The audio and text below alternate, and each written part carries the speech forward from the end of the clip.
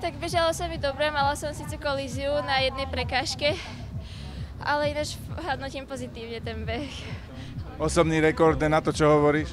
Strašne som šťastná. E, Myslíš, že to bude vychádzať na semifinále? Si prvá poradie aj po druhom behu, tak e, snáď toto by asi mohlo vychádzať. Čo potom v semifinále sa budeš o čo snažiť? Tak v semifinále sa budem, beža- budem snažiť bežať čo najlepšie zase, ak by sa dalo tak na osobný rekord a uvidíme, ako to vidie, keď, keď sa vôbec dostajem do semifinále. Ty budeš mať ale ťažkú porciu potom zajtra, ty tam máš ešte ráno aj 400 mm, Toto sa bude dať zvládnuť všetko, máš to tak v silách nabehané? Tak vyskúšala som si to minulý rok a bolo to v celku fajn, tak tento rok dúfam, že to bude tiež dobré.